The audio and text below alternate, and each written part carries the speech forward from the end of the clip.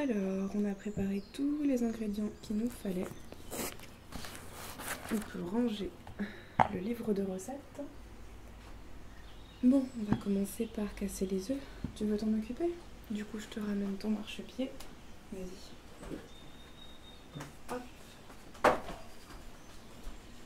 On va se mettre ici. Donc là, tu as le seau du compost. On va le mettre derrière.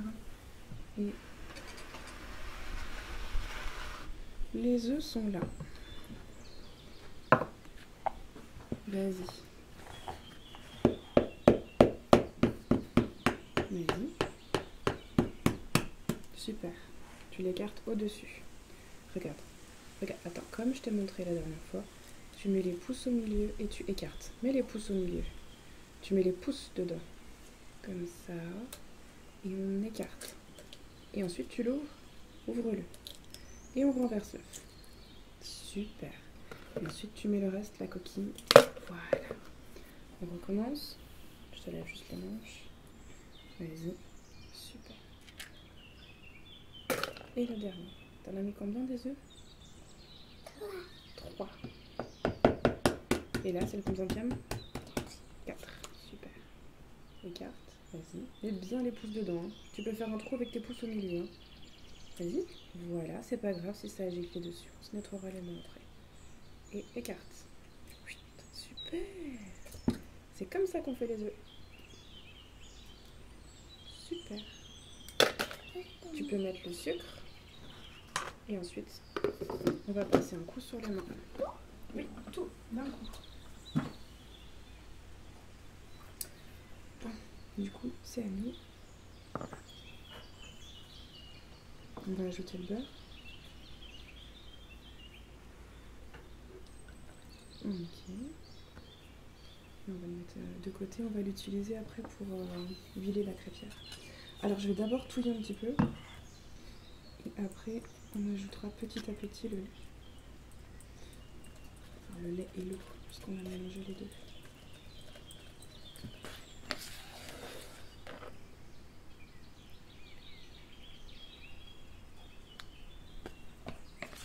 Vas-y, on continue.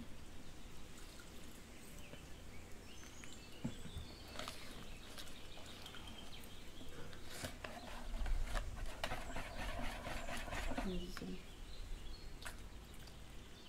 Et voilà.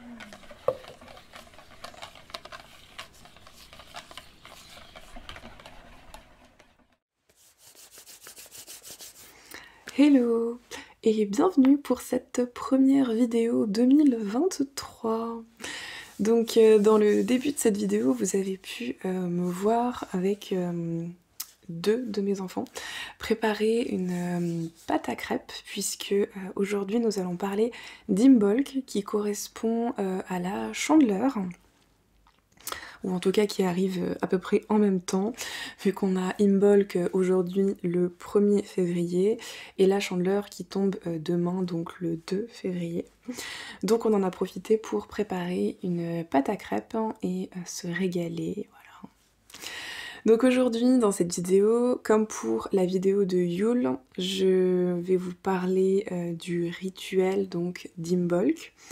Ça va pas être un rituel qui marque le début d'une nouvelle saison, comme pour le solstice d'hiver ou une équinoxe, mais ça va être vraiment un rituel de milieu de saison.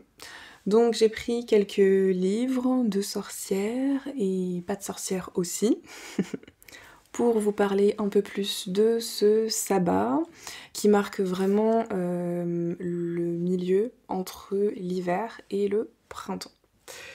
Euh, J'ai également pris un nouveau livre que je ne vous avais pas euh, montré pour le solstice d'hiver. Il s'agit d'un livre qui parle des plantes sauvages comestibles. Donc euh, je suis quelqu'un qui aime beaucoup la cuisine, qui euh, s'intéresse aussi euh, à la sorcellerie, la spiritualité, on peut appeler ça comme on veut. Bienvenue à toi Mélusine.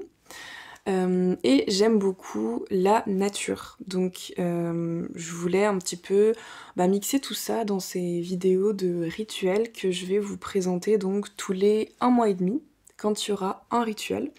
Donc ça va arriver à une certaine régularité dans l'année. Donc le prochain ce sera pour le printemps. Et du coup j'avais envie de parler autant des rituels, donc des sabbats, autant de vous parler des plantes que vous pouvez découvrir en nature ou ce qu'on va pouvoir euh, voir ou trouver tout simplement à cette période. Et en même temps, euh, vous proposer une petite euh, recette de saison. Donc autant c'était les petits gâteaux de Noël pour Yule, autant là, bien c'est la chandeleur. Et puis ben, pour le prochain sabbat, eh bien vous verrez bien. bon, je vais allumer quelques bougies parce qu'il ne fait pas très très chaud chez moi. Et j'ai ramené de quoi me faire un petit thé pour me réchauffer. Voilà, avant de commencer la lecture. Mélusine a déjà trouvé la planque. Je crois que ça lui a manqué. ah mon bébé. Mais oui, ça fait longtemps hein, qu'on n'a pas sorti la caméra et tout et tout. Ouais.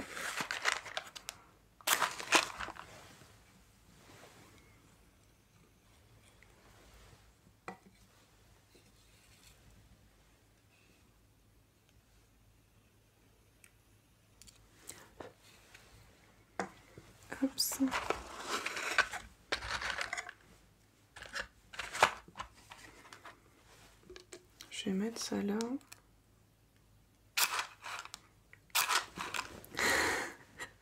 Je savais que t'allais pas aimer. Hein. Je sais pas si c'est tous les chats comme ça, mais Mélusine déteste les allumettes. Voilà, elle voulait pas s'allumer celle-là. Et elle était assez fragile, j'avais peur qu'elle craque.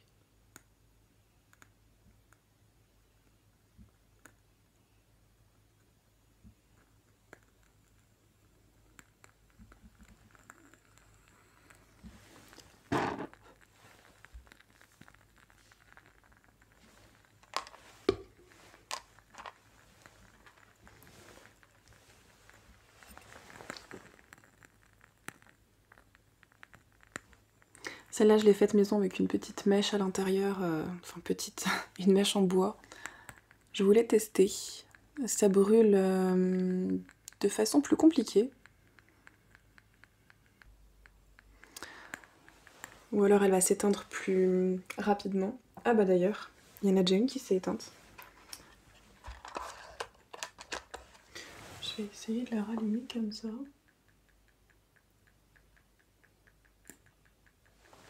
Et voilà. Allez hop. Les bougies, c'est bon. On va se réchauffer un peu les mains. Je vais mettre ça là.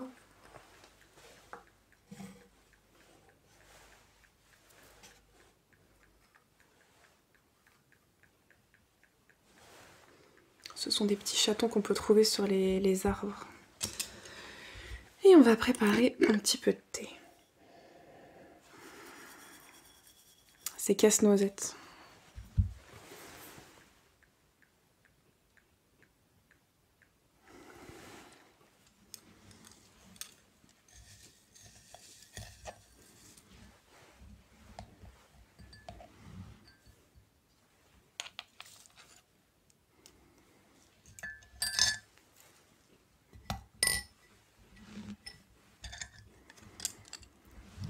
Alors, dans casse-noisette, on va avoir du thé vert sancha, ujisha, donc je crois que c'est une deuxième sorte de feuille de thé, euh, des bâtons de cannelle, du gingembre, de la noisette, de la noix, de la noix de coco et de la vanille bourbon. Une fois qu'on l'a senti, celui-là, c'est addictif. Il faut d'ailleurs que je repasse commande ce mois-ci.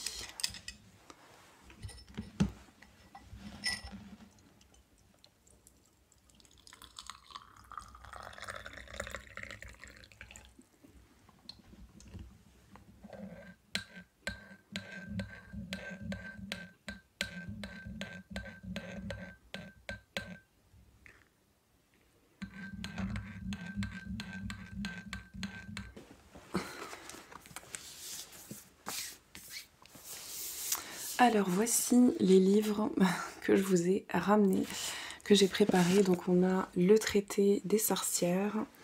C'est celui-ci que je vais utiliser en premier. Ensuite j'ai pris les petits rituels en fait, que je vous avais lu aussi pour Yule, que je trouve sympathique. Je vais relire encore une fois ce qu'il y a dedans pour Imbolc.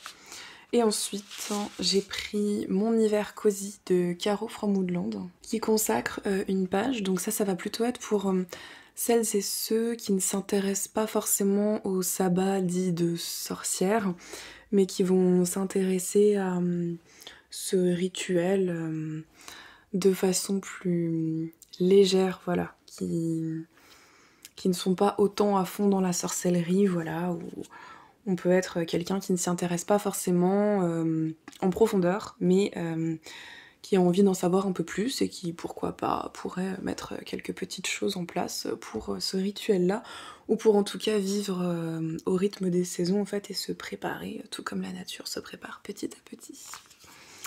Et enfin, ce sera ce livre-là pour les plantes sauvages comestibles, où je vous montrerai euh, toutes les plantes. Donc euh, je tournerai la caméra pour vous montrer les plantes de plus près, et on verra ensemble à chaque fois le nom des plantes, où est-ce qu'on peut les trouver, voilà, ce qu'on va manger sur la plante, euh, par exemple les feuilles, les racines, tout ça. Hop, je mets cela de côté, et on va tout de suite commencer avec le traité. Comme je l'appelle ici, l'encyclopédie. Alors, j'ai vu passer Samain, Imbolc. Oui, puisque la nouvelle année euh, chez les sorcières, ça commence à Samain, donc au 31 octobre en fait. C'est la nouvelle année. Ensuite, on a Yule et ensuite, on a Imbolc. Alors, le sabbat des lumières et de la fertilité. Imbolc est le sabbat des lumières celui qui honore le printemps approchant. Le grand dieu grandit et gagne en pouvoir, tandis que la déesse mère se rétablit après son accouchement.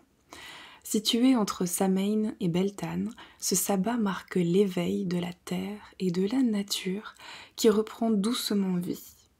Pour l'y aider, de grands feux étaient autrefois allumés afin de purifier et réchauffer la terre tout en favorisant sa fertilité. Il s'agit de ce que l'on appelle encore la fête des flambeaux. Imbolc est un sabbat de fertilité communément célébré par les femmes et consacré à elles, qui s'harmonise parfaitement avec la naissance des agneaux et le début de la lactation des brebis. Il coïncide également avec la fonte des neiges. Le débit des sources et des cours d'eau augmente. Ces eaux sacrées de la déesse mère deviennent le réceptacle des offrandes, tandis que les rituels sont souvent pratiqués à proximité. Alors, activité. Au cours de la journée d'Imbolc, effectuez un grand nettoyage de votre foyer. C'est le moment de dépoussiérer chaque recoin de la maison, mais aussi de purifier intensément les lieux des énergies stagnantes de l'hiver. Les sorcières profitent de cette journée pour changer ou créer leur balai qui servira au rituel de l'année elles confieront l'ancien balai à la déesse en le déposant dans un cours d'eau. En ce jour des flambeaux, faites brûler de nombreuses bougies blanches après le grand ménage afin de renforcer l'éveil de la déesse. C'est un jour parfait pour créer des bougies et rassembler toutes les chandelles qui seront bénies durant le rituel. Elles serviront tout au long de l'année, prévoyez-en donc une grande quantité à l'avance. Profitez de ce temps fertile pour préparer la terre du jardin avant les semences. Après avoir concocté des mets à base de lait pour le repas de fête, les sorcières les plus courageuses effectueront un bain de purification en s'immergeant rapidement dans les eaux froides d'un cours d'eau. De nos jours, la majorité des sorcières se lavent avec de l'eau lustrale dans la même intention. C'est également l'occasion de consacrer et de purifier les outils rituels et ou de pratiquer l'hydromancie. Alors, au niveau des correspondances, donc on a un petit tableau en bas qui nous parle des correspondances pour les couleurs, les plantes, les arbres, les pierres, les animaux. je vais vous lire quelques petites choses qui peuvent peut-être être intéressantes pour vous. Alors au niveau des couleurs pour Imbolc, on va utiliser du blanc, du jaune, du rouge et du rose. Au niveau des plantes, on parle de personnages, forcément. C'est un peu le symbole d'Imbolc d'ailleurs. Euh, du gui, du basilic, de l'angélique, de l'élébore fétide et daphné bois gentille. Au niveau des arbres, on aura le prunelier, le bouleau, le sorbier et le laurier. Au niveau des pierres, on aura l'améthyste, l'onyx, la turquoise et le grenat. Donc l'améthyste est violette, l'onyx est noir il me semble, la turquoise est bleutée et le grenat est rouge. Et pour les animaux, on aura la marmotte, l'agneau, la brebis, le cheval, le rouge-gorge et la mésange. Et voilà pour la partie du traité. Ensuite, on va prendre donc petit rituel de magie.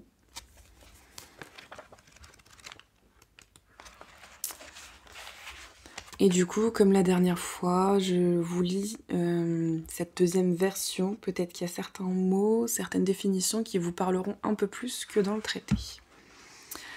Alors, Imbolc, que l'on célèbre le 2 février, donc ici ce sera le 2, est une fête celtique qui met à l'honneur la déesse Brigide.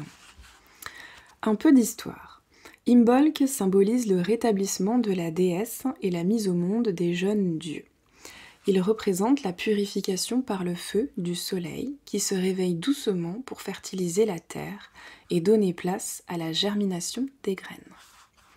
Dans la tradition wiccan, ce sabbat est une période initiatique où l'on pratique des rituels d'initiation ou de dédication. Il symbolise le retour à la lumière ainsi que l'accès à la connaissance et à la sagesse. Lors de ce sabbat, on consacre les bougies que l'on utilisera tout au long de l'année. On procède à une purification du corps, de l'esprit et de notre lieu de vie. Les rituels seront principalement axés sur la fertilité et sur la terre-mère et le dieu soleil. C'est à Imbolc que l'on fabrique son balai rituel. Imbolc selon les civilisations. Les Romains les Celtes et les Égyptiens célébraient Imbolc à des dates différentes, mais toujours dans le but d'honorer le soleil, de purifier les lieux et de réchauffer la terre par de grands feux. Dans la symbolique chrétienne, ce jour est devenu la fête de la chandeleur, où on parle en fait des crêpes qui sont rondes et euh, jaunes pour représenter en fait le soleil. Donc les, sabbats de sorcières en fait et les, rituels comme ça ont été repris euh, de différentes euh, manières euh, puisqu'on a déjà la chandeleur donc qui a été utilisée voilà avec la, crêpe qui représente le soleil. Mais également quand on dit qu'on purifie les lieux, tout le monde connaît le fameux ménage de printemps. Donc on, est vraiment baigné dans ces traditions un peu qui étaient plus célébrés avant et qui se sont euh, perdus dans le temps. Et du coup, je trouve ça intéressant en fait d'étudier ou de, revoir un peu euh, ce que c'est à la base et de, comparer avec maintenant ce qu'on a gardé en fait. Alors pourquoi célèbre-t-on Imbolc? Ce sabbat inspire à la renaissance, à la fertilité de la terre et de nos esprits. C'est le moment idéal pour semer dans nos têtes des intentions, des idées ou encore de nouveaux projets. Et après, on nous parle comment, on nous explique comment euh, décorer un hôtel ou comment fabriquer une croix de Brigide, que je suis sûre que vous avez déjà vu. Hop.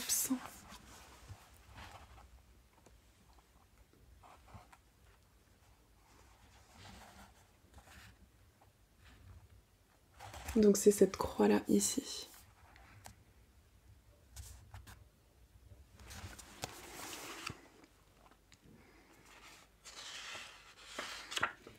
Et voilà. Ensuite, on parlera du prochain sabbat. Je vais mettre mon petit marque-page.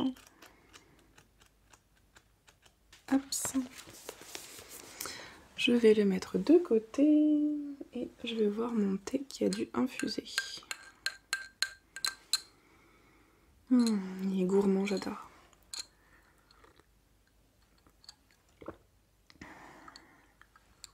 Ensuite, on va prendre mon hiver cosy. Là, j'ai mis un marque-page déjà. Du coup, on va retrouver euh, en grande partie, donc même si c'est pas un livre de sorcière, on va vraiment avoir euh, les grands traits euh, au niveau des illustrations. Donc, alors, on va avoir la croix de Brigide.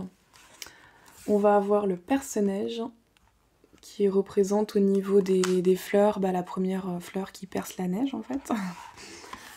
Ici donc on a un agneau, on a les crêpes pour la chandeleur, le balai de sorcière, des bougies, puisque euh, c'est le moment pour euh, créer des bougies blanches.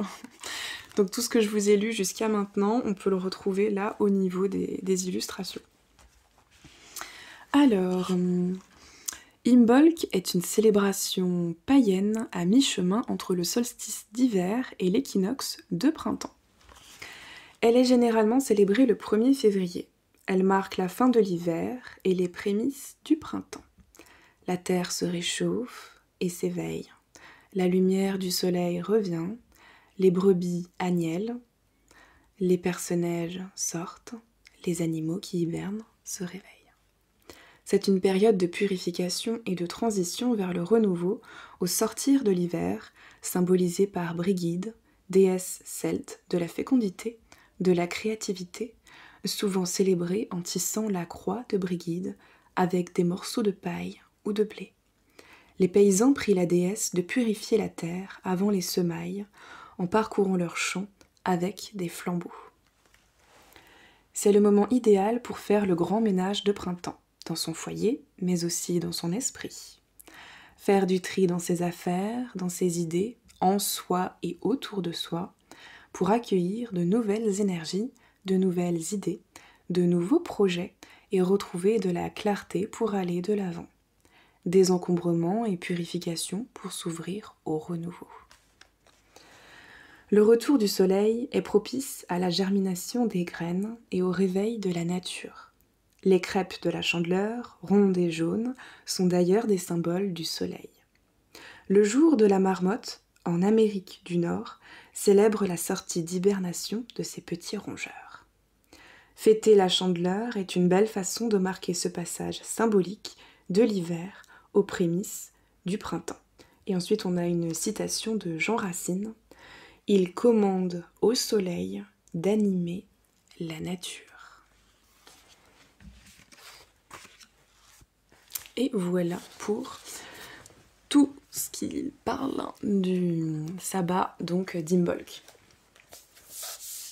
Et maintenant, on va parler de toutes les plantes comestibles, donc les plantes sauvages que vous pourrez euh, retrouver au détour d'une balade ou pas très loin de chez vous, ou peut-être même dans votre jardin.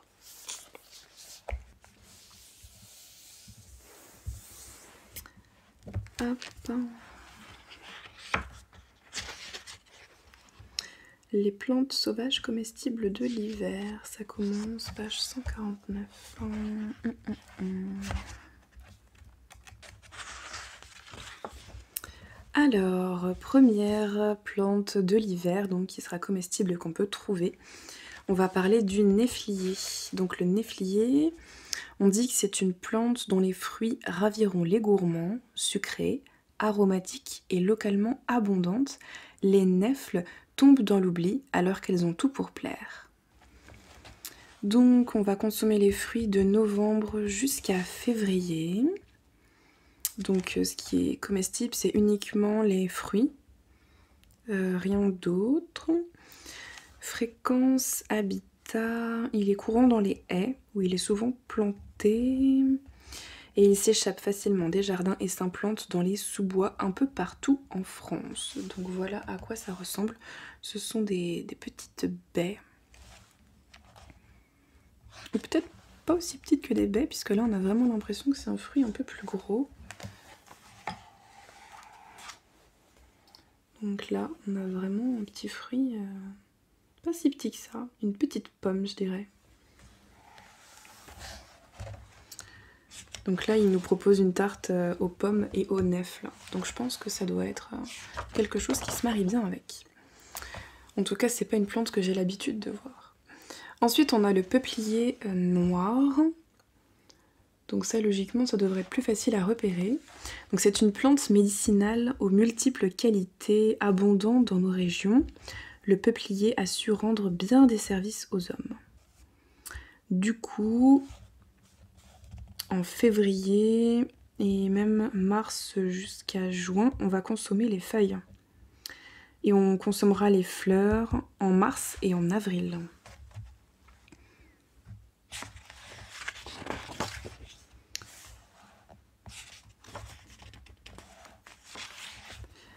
Ensuite, on a la porcelle enracinée. L'empressement de la porcelle à fleurir les pelouses après le passage de la tondeuse n'est pas toujours apprécié à sa juste valeur.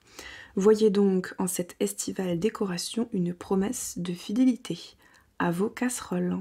Été comme hiver, vous pourrez compter sur la porcelle pour enrichir vos salades, soupes et farces.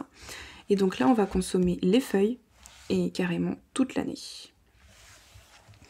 Et on peut manger donc les feuilles et les fleurs mais je suis pas sûre qu'il y ait déjà des fleurs à cette période-là de l'année. Et donc on en trouve euh, partout dans les prés, les pâturages, les bords des chemins et surtout dans les pelouses des jardins. Ensuite on parle de la mâche qu'on appelle aussi la doucette. Donc on va pouvoir en trouver euh, de manière sauvage quand elle se présente comme ça. La première fois que je les ai vues c'est bah, dans notre jardin j'ai reconnu en fait les minuscules fleurs blanches et euh, quelques feuilles qui me faisaient penser un peu à la mâche. Et donc j'en ai goûté une et en effet ça avait le goût de la mâche. Donc bien connue des jardiniers qui n'hésitent pas à la semer, la mâche ne se trouve pas qu'au potager. Souvent, elle pousse déjà spontanément dans un coin du jardin et offre de belles cueillettes qui n'auront nécessité aucun effort. Et donc la doucette se cueille de janvier à avril. Alors elle fréquente tout le territoire, mais les espèces ne sont pas les mêmes suivant les régions. Plusieurs espèces ne sont présentes qu'en région méditerranéenne. Les feuilles se cueillent en hiver avant que la tige apparaisse. Donc vraiment quand c'est des, des jeunes pousses, donc comme la mâche.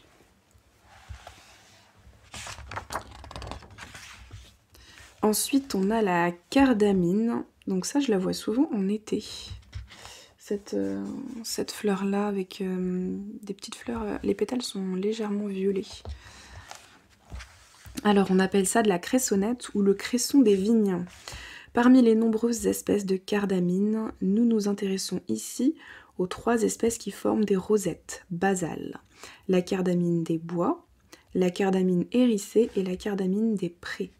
Toutes sont comestibles et d'aspect similaire, elles poussent cependant dans des lieux différents. Du coup, on va la voir de décembre jusqu'à juin. Et on va consommer les feuilles et les fleurs. Et là, je vois confusion possible, peuvent être confondues avec le cresson qui ne pousse qu'en milieu aquatique, dans l'eau, la vase, etc. et qui forme des colonies. Ces tiges rampantes sont parfois très longues et se redressent aux extrémités. La confusion ne serait pas grave puisque le cresson est comestible et même excellent. Voilà, donc il n'y a pas de dangerosité. Et la mâche, elle peut être confondue avec d'autres espèces, mais de mâches, donc il n'y a pas de souci. Hum, hum, hum, Pareil pour la porcelle. Ça c'est bien, à chaque fois on a euh, un petit passage sur les confusions possibles. Toutes les espèces sont comestibles. Et le néflier, confusion possible, bah aucune. Donc là c'est simple. Et ensuite on va passer au pissenlit. Véritable bénédiction, le pissenlit mériterait bien notre gratitude. En plus de régaler nos yeux de sa belle floraison lumineuse, il ravit nos palais de l'une ou l'autre de ses parties, car chez le pissenlit, tout se mange et tout soigne. Ne nous privons donc pas de ce véritable alicament abondant et facile à identifier. Donc, on va trouver des feuilles toute l'année. On va avoir des fleurs d'avril à juillet et des racines pareil toute l'année.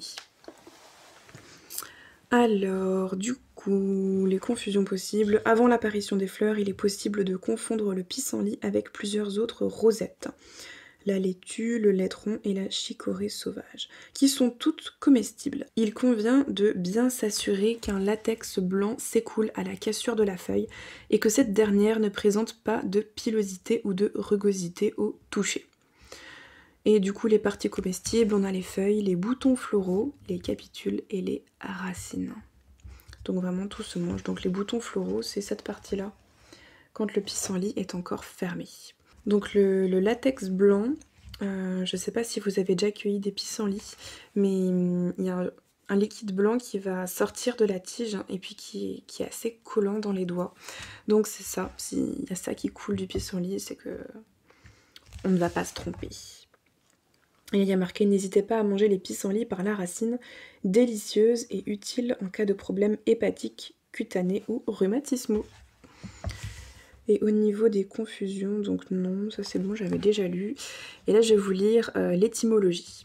Le nom vernaculaire du pissenlit, donc le nom vernaculaire c'est-à-dire le nom commun, donc le pissenlit quoi, euh, est dû aux propriétés diurétiques de la plante. Il vaut mieux éviter d'en boire une tisane avant d'aller dormir. Donc les plantes diurétiques, c'est les plantes qui vont bien faire fonctionner les reins. Donc euh, pissenlit, euh, bah, qui vient de pisse au lit, quoi. C'est pour ça que ça s'est appelé comme ça. À travers les époques. Alors la carotte sauvage. Les carottes sont assurément l'un de nos meilleurs légumes cultivés, mais il serait dommage de se limiter à la consommation de celles que l'on trouve dans le commerce. Leur cousine sauvage, abondante et gratuite, n'attendent que nous. Alors, pour la carotte sauvage, on va consommer les feuilles d'octobre jusqu'à juin. Les fleurs, ce sera de mai à août. Les fruits, de juillet à octobre et pour les racines, donc d'octobre jusqu'à mai. Donc là actuellement on peut consommer et les feuilles et les racines. Et puis bon bah vu que la carotte euh, c'est une racine, euh, bah du coup on peut manger les carottes sauvages maintenant quoi. Alors la carotte sauvage est très courante sur l'ensemble du territoire, on la trouve au bord des chemins, des routes, des jardins, des bois, sur des terrains vagues, ou là où la terre a été fraîchement retournée. Confusion possible. Alors là au niveau de la carotte sauvage c'est un peu plus compliqué parce qu'on a des plantes euh, toxiques, euh, voire même euh, une qui est mortelle en fait, qui lui ressemble énormément au niveau de la, fleur blanche. Je sais pas s'ils vont nous mettre une photo. Oui, là. Donc là on a vraiment la carotte sauvage avec son ombelle qui va être complètement ouverte. Et du coup elle est vraiment blanche. Et hum, c'est là qu'on peut la confondre avec d'autres plantes qui sont pas bonnes du tout. Alors du coup, on va la confondre avec des, des apiacées toxiques comme la grande ciguë, la ciguë vireuse, la petite ciguë ou le nantes safrané. Toutes sont glabres. De plus, elles émettent au froissement des odeurs bien différentes de celles de la carotte ou sont peu odorantes. Donc en gros, on arrivera à faire la différence euh, grâce à l'odeur. Alors, euh, si je peux vous donner peut-être une astuce. Donc là, la plante, elle a un goût de carotte au froissement. Euh, racines, feuilles, fleurs et fruits sentent la carotte, bien que les fruits peuvent présenter une odeur rappelant celle de la poire. Donc en gros, c'est sentir la carotte, et c'est à ça qu'on est censé pouvoir la reconnaître. Mais si jamais vous avez déjà vu ce genre de, fleurs dans les champs par exemple, là on peut voir qu'il y a un petit point noir. Donc euh, là on peut voir un petit point noir. Donc en fait, au centre de ces, fleurs, donc sur le dessus, on va avoir comme des petites graines noires qui apparaissent. Et ça, c'est au niveau de la pollinisation de la fleur. Quand elle va être pollinisée, du coup, elle va se refermer comme celle-ci. Donc ça va vraiment venir se refermer comme ça. Et si vous voyez ce genre de, de plante euh, là, je dirais que ça vous donne un indice supplémentaire en plus de l'odeur de la carotte. Mais comme toujours, quand on n'est pas sûr, il vaut mieux éviter euh, d'y toucher. Et comme là, celle-là, c'est assez dangereux puisque la, grande ciguë, c'est vraiment euh, très très très dangereux. Du coup, ça c'est bon. La racine se récolte avant le développement de la tige, de l'automne, de la première année au printemps du début de la seconde. Donc la carotte n'est pas forcément développée tout le temps. Ensuite, on va parler de la prime vert officinale, qui est surtout appelée le coucou. Euh, du coup, comme son nom l'indique, la prime vert est l'une des premières plantes à fleurir au printemps, voire en toute fin de l'hiver. Sa floraison annonce d'inoubliables desserts. Donc on va consommer les feuilles toute l'année et les fleurs de mars à mai. Alors elle pousse dans toutes les régions de France, bien qu'elle soit plus rare dans l'ouest, le massif central et la région méditerranéenne.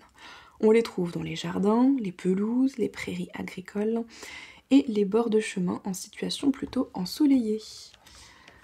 Confusion possible, on peut la confondre avec d'autres espèces, dont les feuilles sont vertes sur les deux faces, mais ces deux espèces sont comestibles. Voilà, donc en gros, on peut les confondre avec d'autres espèces de primes mais il n'y a pas de souci tout est comestible. Mais j'avoue que je n'en ai jamais mangé. Alors là, on a par contre un petit passage sur les parties toxiques. Donc toute la plante contient de la saponine qui, ingérée en grande quantité, cause l'hémolyse. Donc les quantités contenues dans les feuilles et les fleurs ne suffiraient pas à provoquer ce genre d'accident. En revanche, la saponine est plus concentrée dans les racines. On s'abstiendra donc de les consommer. Donc la saponine, c'est un genre de savon. Les feuilles sont riches en protéines équilibrées, en vitamine C et en sels minéraux, entre autres magnésium ainsi que potassium. Ensuite, on a le Douglas, donc le sapin de Douglas, pin de l'Oregon. Son étonnant parfum de fruits de la passion fait du Douglas un arbre intéressant pour diversifier la cuisine quotidienne. Mais attention à ne pas le confondre avec l'if, mortel à faible dose. Mais l'if, il me semble qu'il fait des baies rouges qui tombent et après quand on, marche dessus on en a plein les chaussures. Je me souviens qu'on en avait un dans la cour de l'école quand j'étais euh, au primaire et on avait un garage à vélo en fait en dessous et tous ceux qui utilisaient, euh, qui, mettaient leur vélo là-bas, on le savait en classe puisque euh, on les suivait à la trace en fait avec les, les baies rouges collées sous leurs chaussures. Donc logiquement, on va pas confondre. Donc le Douglas se trouve dans de nombreux départements français, bien qu'il soit presque absent de la côte ouest, du Finistère jusqu'à la frontière espagnole, ainsi que d'une grande partie de la Provence et des Alpes. Les rameaux peuvent être récoltés à n'importe quel moment de l'année. Les jeunes pousses se cueillent au débourrage des bourgeons au cœur du printemps. Confusion possible donc avec d'autres conifères, ce qui ne serait pas grave car la plupart des conifères locaux sont comestibles et présentent des propriétés similaires à celles du Douglas. Il faudra toutefois bien le différencier de l'if, tellement toxique, mortellement toxique, dont les aiguilles courtes, plates et trapues sont jaunâtres, blanchâtres, dessous et opposées sur un seul plan en peigne. Donc la branche ne sera pas la même. Et le Douglas est riche en vitamine C. Ensuite, on va avoir l'épicéa. À la photo, là, elle est juste magnifique. C'est superbe. Alors, c'est grâce à l'épicéa et sur les conseils des Indiens que Jacques Cartier aurait sauvé son équipage du scorbut en remontant le Saint-Laurent. Légende ou réalité, difficile de le savoir. En revanche, on est sûr de la richesse des aiguilles de cet arbre en vitamine C. Et donc là, on va prendre les feuilles donc toute l'année. Enfin, quand on dit feuilles, on parle bien sûr des, épines, des aiguilles. Alors, Fréquence et habitat. L'épicéa est spontané en montagne, dans les Alpes, le Jura et les Vosges, en mélange avec le hêtre et le sapin. Il a été introduit dans de nombreuses régions comme le Massif central, les Ardennes, les Pyrénées, la Normandie et est utilisé dans les parcs et jardins en tant qu'arbre ornemental. Période de cueillette, donc on cueille les rameaux toute l'année. Il faudra récolter les bourgeons en mai et juin en montagne. On peut confondre l'épicéa avec le sapin comestible dont les aiguilles sont plates et avec l'if très toxique et mortel à faible dose dont les aiguilles plates sont disposées. Donc ça c'est la même... Euh, voilà. Et euh, en outre, l'if ne donne pas de pommes de pin, mais des graines rondes entourées d'une excroissance rouge et charnue nommée arille. Donc voilà, donc il n'y aura pas de pommes de pin sur l'if, il y aura des baies rouges. Euh, donc c'est à ça aussi qu'on va faire la différence. À noter, c'est l'épicéa qui a longtemps fait office de sapin de Noël, appelé ainsi à tort puisque les sapins appartiennent à un autre genre. Il est aujourd'hui concurrencé par le sapin Nordman, dont les aiguilles, moins sensibles à la chaleur, supportent mieux les intérieurs chauffés de nos habitations.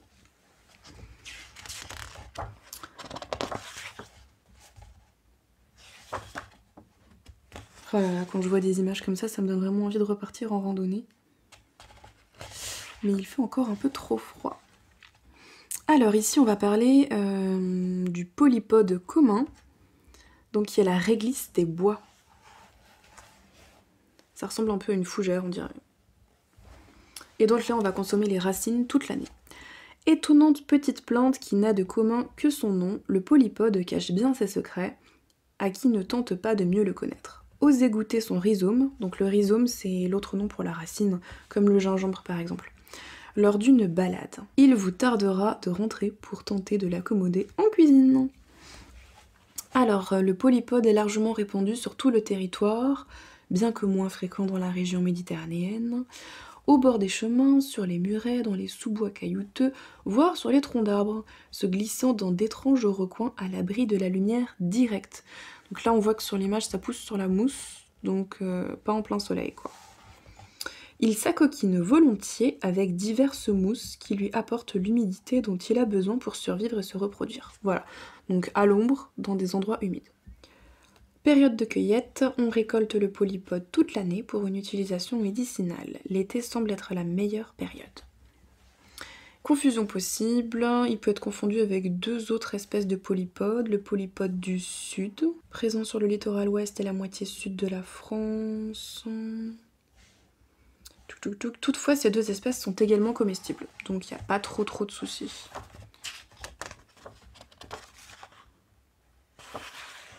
Et du coup, quand on va froisser euh, les feuilles, ça dégage une odeur de réglisse.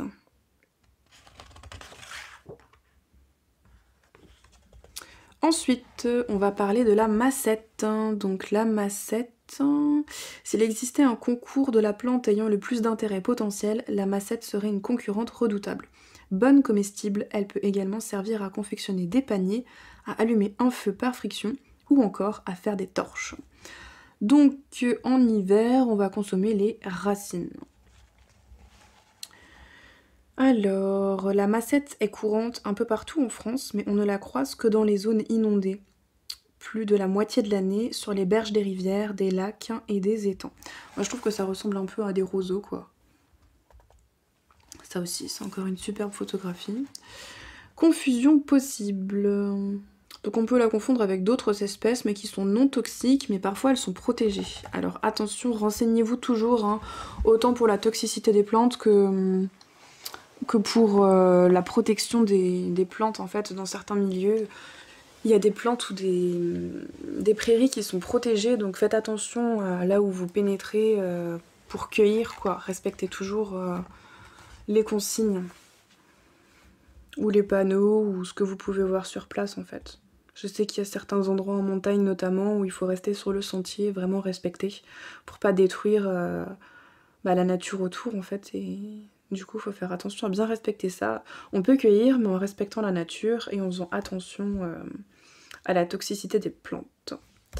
Donc là, on va consommer les jeunes pousses, les cœurs de tige, le rhizome et pollen. Et partie toxique, la massette est un filtre à eau naturelle, d'où son utilisation dans les systèmes modernes de phytoépuration. Il faut donc veiller à récolter les parties comestibles de la plante sur des individus vivant dans des eaux non polluées.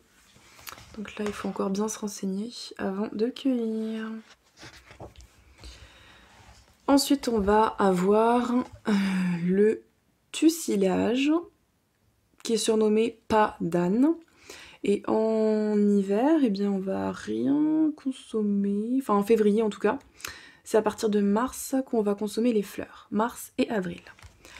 Les noms scientifiques et vernaculaires du tussilage, issus du latin tussis, tout, et aguerrer, chasser, nous rappellent ses propriétés médicinales. Ces inflorescences sont effectivement utilisées depuis fort longtemps en infusion pour calmer et faciliter l'expectoration. Donc ça c'est quand on tousse en fait et que hum, on a les bronches qui sont prises. Ça va nous aider. Alors, c'est une espèce pionnière des lisières forestières, des rives et des talus qui affectionne les sols remués, instables. On la trouve sur tout le territoire, dans des lieux à la fois humides et ensoleillés, mais c'est en montagne qu'elle est la plus fréquente. Donc les fleurs qui précèdent les feuilles se cueillent à la fin de l'hiver. Donc on a d'abord en fait les, fleurs, et comme on voit, bah, il n'y a pas de, de, feuilles quoi. Et du coup, on va vraiment avoir les feuilles qui apparaissent, les fleurs pardon, qui apparaissent avant les feuilles. Voilà, voilà. Confusion possible. Aucune confusion n'est possible à la floraison. En revanche, une fois les fleurs de tussilage passées, les feuilles peuvent se confondre avec d'autres espèces. Donc, euh, on peut les confondre avec une, une, autre espèce de plante en fait qui va être toxique et une autre qui n'est pas comestible. Donc en gros, on s'y fie quand il y a les fleurs, mais quand il y a les feuilles, il faudra vraiment faire attention. Partie toxique, toute la plante contient des alcaloïdes qui, ingérés très régulièrement et en grande quantité, sont responsables de maladies du foie. D'accord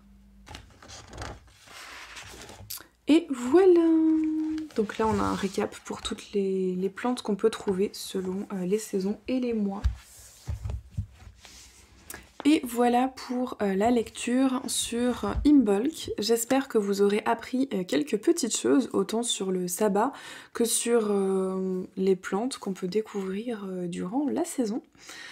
si ce format-là de vidéo vous intéresse, je vous donne rendez-vous dans un mois et demi à peu près pour le prochain sabbat. Et en attendant, eh bien, je vous dis prenez soin de vous.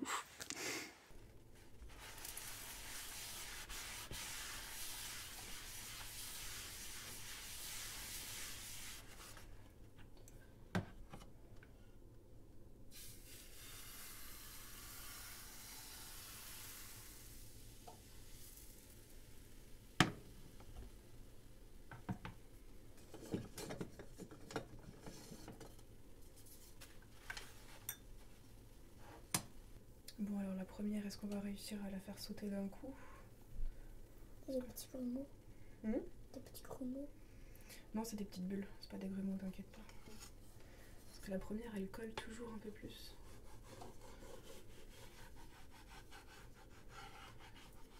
Hmm. Alors, hop. Si, celle-là, elle colle. On fera la deuxième qu'on fera sauter.